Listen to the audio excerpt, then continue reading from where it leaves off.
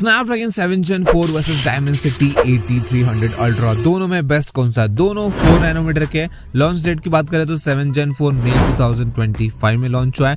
8300 नवंबर 2023 में लॉन्च हुआ है। एंड्रॉइड स्कोर 8300 अल्ट्रा में बेटर मिलता है। सीपीयू कोर्स आपको 7 Gen 4 में बेटर मिलते हैं, लेकिन सीपीयू क्लॉक स्पीड बेटर है 8300 अल्ट्रा में। इसके अलावा जीपीयू परफॉर्मेंस भी 8300 अल्ट्रा में बेटर मिलती है। दोनों processor LPDDR five RAM UFS 4.0 storage type को सपोर्ट करते हैं। 8300 अल्ट्रा में 320 मेगापिक्सल के सिंगल कैमरा का सपोर्ट मिलता है। 7 Gen 4 में 200 मेगापिक्सल के सिंगल कैमरा का सपोर्ट मिलता है। दोनों 4K recording 4K video playback को सपोर्ट करते हैं। सेवन जेन फोर में वाईफाई सेवन ब्लूटूथ वर्जन 6.0 का सपोर्ट है, लेकिन 8300 अल्ट्रा में वाई वाईफाई 6 ब्लूटूथ वर्जन 5.4 का सपोर्ट है। अगर विनर की बात करें तो single core multi core performance 8300 ultra में बेटर मिलती है।